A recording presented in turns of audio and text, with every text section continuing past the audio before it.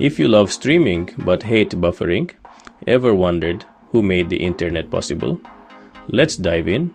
Picture this it's 1969.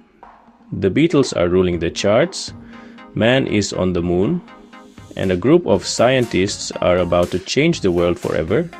Meet ARPANET, the granddaddy of the internet, funded by the US Department of Defense. The idea? To connect computers across long distances.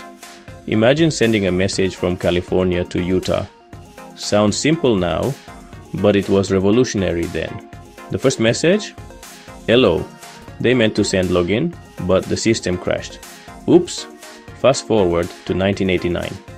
Enter Tim Berners-Lee, a British scientist working at CERN. He proposed the World Wide Web, allowing documents to be linked across the internet. By 1991, the web was up and running, and the rest is history. From dial up tones to fiber optics, the internet's journey has been nothing short of amazing. And guess what? We're just getting started.